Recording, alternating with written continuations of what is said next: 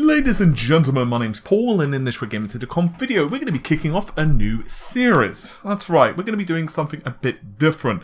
We're going to be discussing silly, this could be funny, these can just be absolutely ludicrous and stupid, tales of tech woes. I haven't actually created a name for this yet, I'll grant you.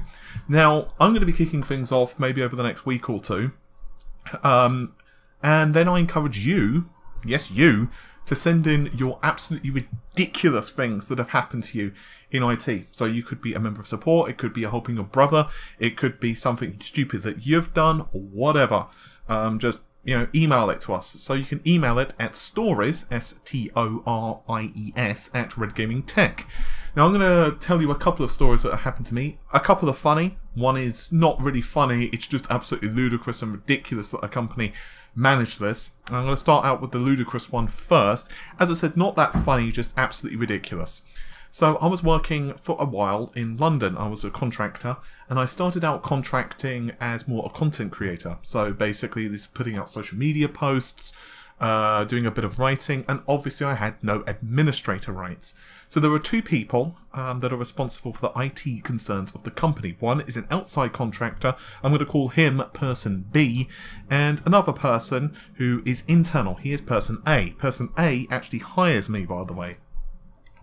So, uh, person A starts things off, and he, you know, he's basically doing the day-to-day basic stuff of the company, plus also producing things such as I don't know. Um, uh, Google Analytics reports and uh, you know Facebook reports and engagements of uh, you know what they're spending money on for PPC, whatever, and other basic things like uh, I don't know the printer stopped working, help.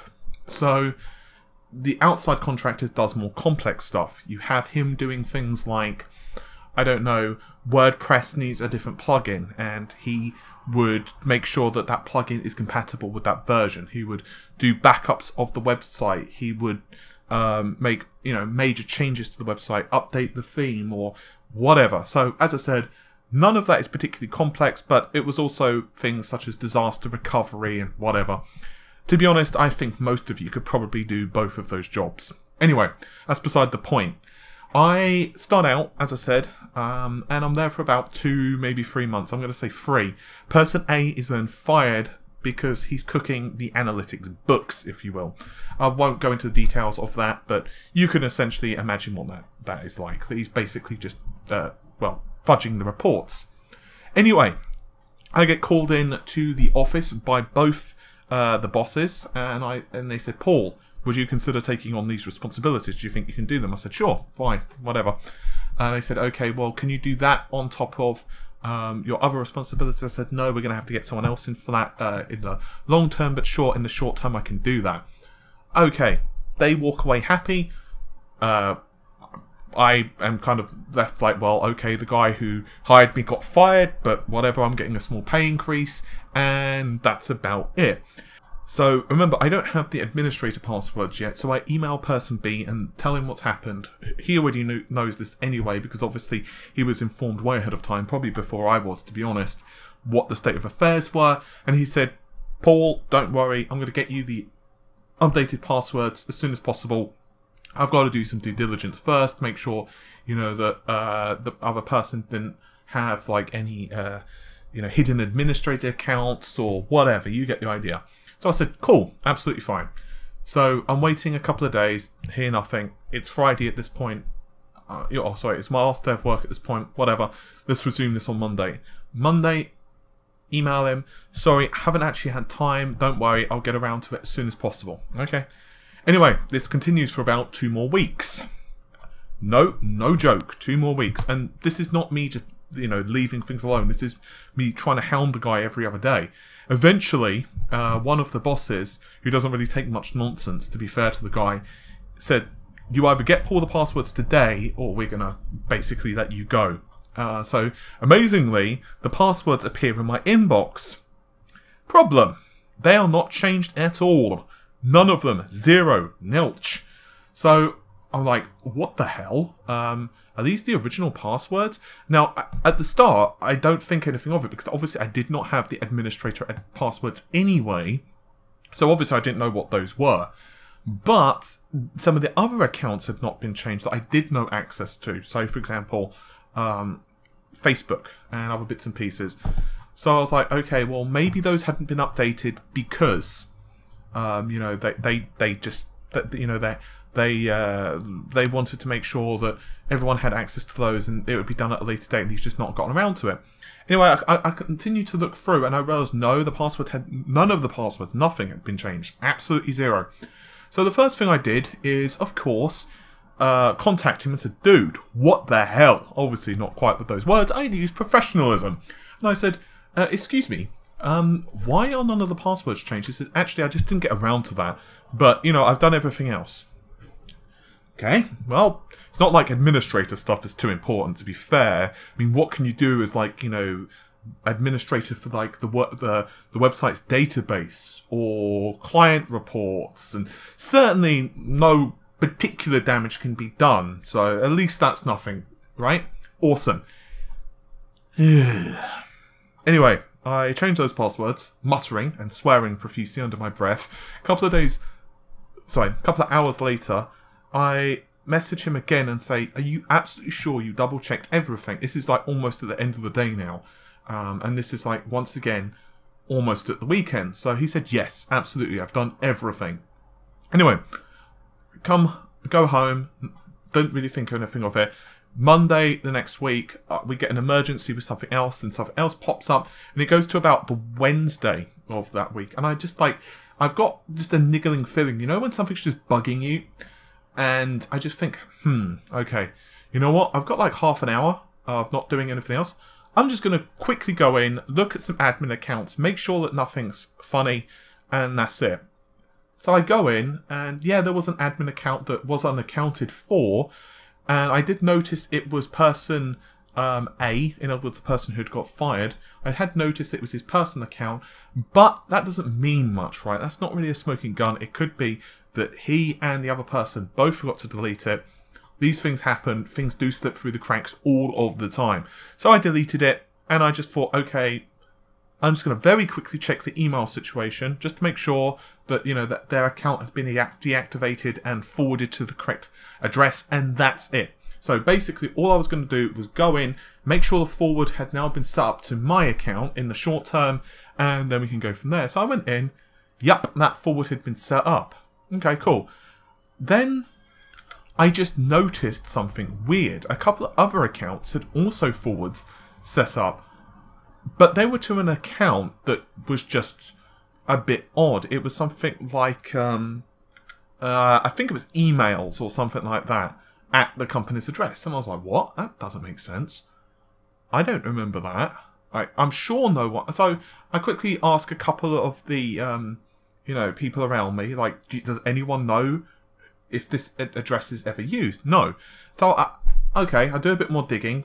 Go. I'm starting to now go through all the um, exchange stuff. So I'm, I'm looking through like uh, both online exchange and the website stuff, and just looking through all of these email accounts. And obviously, it's a company, so there's quite a few people working there. Yep. What I noticed is that the sales individuals, the bosses, the, the editor, uh, and a couple other accounts as well, all had uh, oh, by the way, including person B, the uh, the contractor, all had email address that was forwarding to email at the company's name. So I'm like, what the hell? So I then go into that email address and start doing some digging, and it, it is an inbox, but it's also forwarded. So I'm once again doing a bit more digging, and I realise that this email address is then forwarded to another email address, once again on the company server. So I'm like, what the hell? Like, what? Why are there so many email addresses being forwarded to another email address who are being forwarded to another email address? It's ridiculous. So I then go to the other email address. And this one is something like um, backups or something like that at the company's address. So I'm like, what the hell? Anyway, at this point, I realise that that had been actually forwarded to the fired individual. In short, he had essentially put in hooks into everyone's email address so he could monitor when he learned he was going to be fired. So for about a month, because of person B being pretty incompetent, this individual had access to every single email that had been sent through the company. Yep. Pretty pretty ridiculous, right? And once again, this is not like a funny story. This is not ha ha. This is just the absolute ridiculousness of dealing with, well, people. A couple of more stories. These are more funny slash light-hearted ones. One, I was at a friend's house upgrading his PC. I can use names on this because he's not going to get upset. And he said to me, Paul, I, you know, something's just wrong with my PC recently. It's just not running right. It's just, it's shut down a couple of times, like just doink. Just like no warning, just shut down. So it's getting a bit old anyway. Let's just upgrade. This is around the time that the Core 2 Duos were normal. These were like the regular PC specs. Cool. Okay. So I build the PC that was going to be kind of the new one. Uh, I, I, basically, I put in the components minus the hard drives and the optical media and that type of stuff, and just check that it runs. It did, and he said he had two hard drives in the other PC, his old PC. One was like a slow system drive. The second was a faster hard drive, which he had data on. He said he didn't want to keep the C drive anymore, but he did want some files from that, so can I just transfer them over? The easiest way, of course, to do that is pretty damn obvious. Either copy them to the D drive, or you just use a USB uh, drive. Well, his D drive was completely full, which is another reason he wanted to do an upgrade, so I was going to use a USB drive. Not too difficult, right? Very simple. So I turn on the PC, and I you know, leave it to start copying. And I'm thinking, okay, I came back in and the PC's just turned off. What the hell? Okay, whatever. Uh, turn it back on.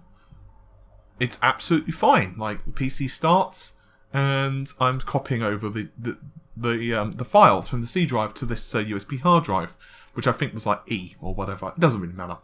So I'm copying it over, and I'm just sitting on his bed. As I said, this is quite a while ago. Sitting on his bed, not really paying attention to much, to be honest. And suddenly, I, I, I could swear I smell something like just what the hell that doesn't smell right. And suddenly there's this bang, and his PC, the power supply just explodes. Um, like literally a flame just shoots out the back, and it's a cheap power supply. It's one of those really cheap, nasty power supplies. Um, so I'm like on the bed, just not sure what to do for a second because I don't want to touch the PC in case you know electricity is going through the damn thing. And obviously, I don't know if it's going to burst into flames. So I'm like, do I do I switch it off at the mains or what? And I'm like, where the hell is the mains? I, I have no idea where his power line is because obviously it's not my house. And unfortunately, the power plug to the PC is like rooted behind like desks and stuff. So good luck to me, Paul. Get good luck trying to get hold of that. So just as this happens, Stuart walks into the room and sees me essentially like on the bed, like with a massive wide-eyed look of like, oh dear, this is not good. And he's like, oh my god, oh my god, oh my god. And he almost drops the food. He managed to put it down that he, he was getting for us. And anyway, he's like scrambling at the back trying to turn off the power. So that was a pretty good one. Last story. This one's just ridiculous. Not so much funny, just absolutely ridiculous of dealing with IT, with friends. Go around a friend's house, a friend of a friend actually, and he'd been complaining to my friend that he had no audio. He said he didn't understand what's happening. He had audio just that morning, and this afternoon he had nothing. Literally, it just stopped working. He said, I've turned the speakers on, the speakers are definitely on. You know, Windows is telling me it's playing. I don't understand it. Help me. Now, bear in mind, this is quite a long while ago. This is back in the day. Uh, we're talking like Windows. I think he was on Windows ME. So the first thing I did when I got there, of course, was make sure, yep, the speakers are turned on. Now, to be fair, the speakers do not have any light on them at all. They are one of the old desktop speakers. We're talking like 90s slash early 2000s. They're nasty. And I think, what the hell? Okay. So make sure the drive is installed. Windows is telling me they're installed. what the hell? So I'm here just looking at this thing, like twiddling the volume knob, thinking, okay, is there something wrong with that? No. What the hell is going on? So I said, dude, do you have um, like any headphones? No, I don't have headphones on me. He said, uh, mine actually broke a couple of weeks ago. Funnily enough, he said, I haven't actually had time to go to the store and pick some up. This is way before internet shopping was normal, of course. Um, I said, well, do you have any other speakers? Just, you know, as a double test. He said, no. He said, I do, but they're in the other room and they're pretty huge. He said, I don't understand how it could be the speakers anyway. They were working absolutely fine earlier. I said, okay, well, they're plugged in, right? He said, of course, like, you know, the whole desk and everything is identical. So, anyway, I'm still plugging away, plugging away, like, okay, what the hell? The, the audio tells me it's fine. Obviously, at this point, I've gone through everything. I've reinstalled the drivers, made sure that it's not muted at any other system. Try, you get the idea. Anyway, continue and continue and continue. I've been at this for about 15, 20 minutes now, and I expected to have been done in five. Anyway, after a while, I decide, okay, I'm going to make sure that the audio is definitely 100% plugged in to the back of the PC. Tried that. Tried it from the front to the, uh, sorry, the rear port to the front port. Still nothing. At this point, there's obviously one of two things. Either A, the speakers are, are balked, God knows how, or the second, somehow his sound card is balked. So I think, well, I don't understand how it can just suddenly stop working. Like, you know, speakers, they they don't really go wrong that often. Maybe somehow or another he's blown his audio card, but I don't see how. It's not like, you know, it's not like he's a gamer or doing anything that special. The PC's fairly, you know, it looks fine. So I am tempted at this point because the sound card is not part of the motherboard; it's like a separate one. I am tempted just to take out the sound card, make sure that you know it's seated properly. But I don't see how that's going to do anything. But you know, it never hurts. But just beforehand, I thought I'm gonna just make sure that those speakers are plugged in. So I'm like trying to pull out his desk, and he said, "Why are you doing that? Like, uh, trust me, they're plugged in." I was like, "He's like they they were plugged in this morning."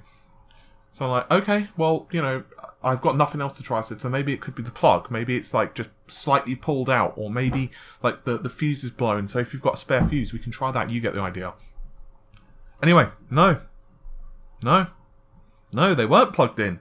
Apparently, his wife had, for whatever reason, I mean, to be fair, it could have been someone else, but he he thinks it was his wife, had unplugged them for an additional power connector in that room for I don't know whether it was for vacuuming or whether it was for like a disco light I don't know.